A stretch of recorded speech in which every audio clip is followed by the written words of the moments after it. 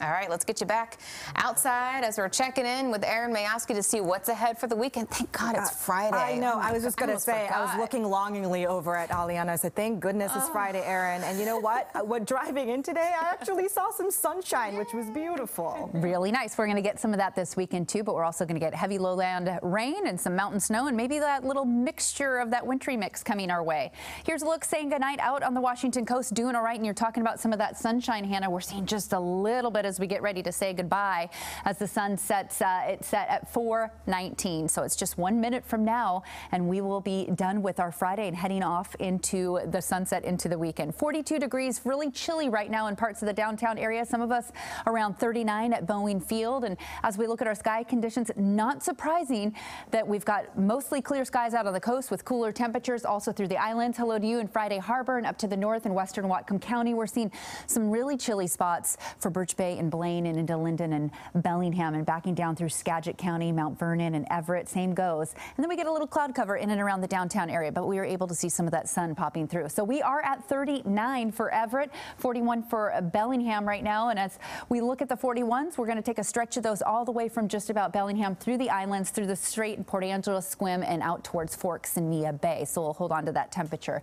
for a little bit longer. Big picture shows us that we do have activity coming our way. We've got the cold air mass coming down and a few systems that are going to push on in this weekend. So as we go through the overnight hours, the showers will start to pick up, even though we are dry right now. So enjoy it while you can. If you need to do any yard cleanup, you have several more hours to do that. But into the overnight, we'll bring the rain in, and those temperatures will back down to about 38 degrees in and around the downtown area and Bremerton as well. That is normal. We'll be just slightly cooler to the south.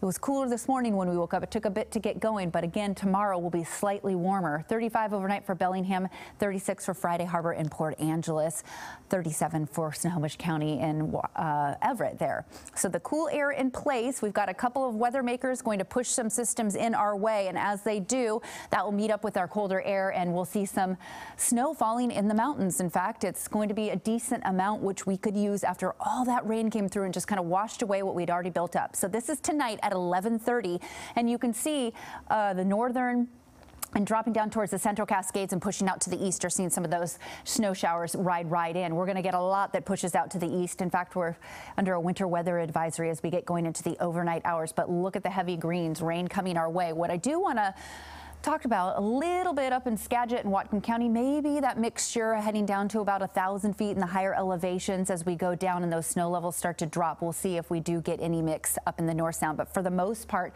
we'll just see some really wet conditions, rain in the lowlands and again in through the Cascade. So if you're planning on Cascade travel, it could be tough at times. Here's a look at it now. We're doing just fine. It's bare in most spots, but we are under a winter weather advisory in the overnight hours, anywhere from 8 to 10 inches, especially on the eastern slopes of the Cascades. So here are some of those totals. 13 for Snoqualmie, 14 for Stevens, and 11 for Baker as we get rolling through with a couple inches out over the Olympics. Seven day forecast shows us those temperatures hang on as we go Saturday, Sunday, into Monday. At this point, it looks like they're going to be chilly and cool if you're heading out to any sporting events. UW men's soccer on Saturday, and then Sunday looks to be dry for the Seahawks as they host the 49ers, guys.